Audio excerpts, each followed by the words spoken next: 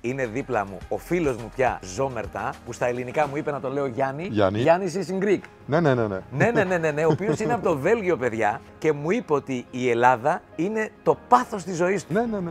I'm traveling to Greece since 50 years. 50 Yes, years! yes, yes, yes. Παιδιά, μια ζωή ο άνθρωπος επισκέπτεται την Ελλάδα. Να φανταστείτε, έχει σπίτι στη Γλυφάδα και σπίτι στο Ηράκλειο της Ναι. Κρήτης, που είναι ο τελικός του προορισμός και ταξιδεύει με το Thunder, το οποίο φεύγει από Πειραιά και πιάνει διαδοχικά Σύρο, Μύκον, Πάρο, Ήο Σαντορίν και Ηράκλειο Κρήτης. Ναι.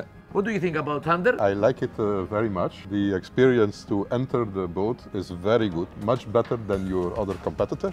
Friendly people, very polite people. uh, Very polite people, yes. No stress to put the car on the boat. Really very good service. Okay. Μινά, το καφεδάκι στο φίλο μας από το Βέλγιο, τον Ζόμερτα, είναι από μας. nice to meet you It was a real pleasure. and thank you for loving my country so much. thank you very much. It is a wonderful country. Thank you for bringing me always the happiness in life through your country. Απίστευτο.